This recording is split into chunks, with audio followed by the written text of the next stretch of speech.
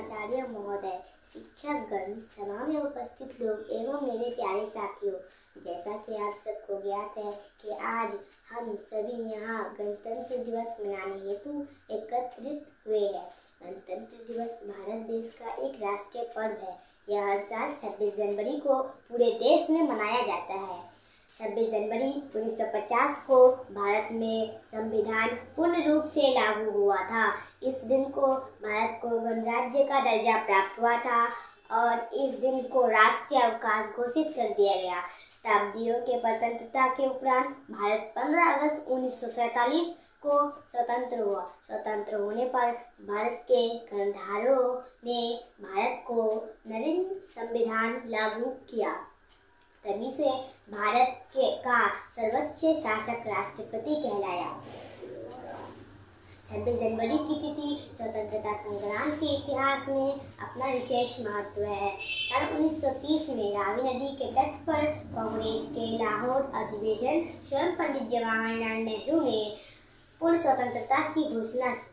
26 जनवरी 1930 को उन्होंने प्रतिज्ञा किया कि जब तक हमें पूर्ण स्वतंत्रता प्राप्त ना हो जाए, तब तक हमारा ये स्वतंत्रता आंदोलन चलता रहेगा और इसे प्राप्त करने के लिए हम अपने प्राणों की आहुति दे देंगे। इस कारण 26 जनवरी का दिन ही भारत का गणतंत्र के लिए चुना गया। 26 जनवरी 1950 को भारत पूर्ण रूपेण गणतंत्र हुआ। उस दिन भारत उस दिन हम पूर्ण रूप से स्वाधीन हो गए। उस दिन लॉर्ड माउंटबेटन के स्थान पर डॉक्टर राजेंद्र प्रसाद हमारे राष्ट्र के प्रथम राष्ट्रपति बने। आज भी पर्व बड़ी धूमधाम से मनाया जाता है।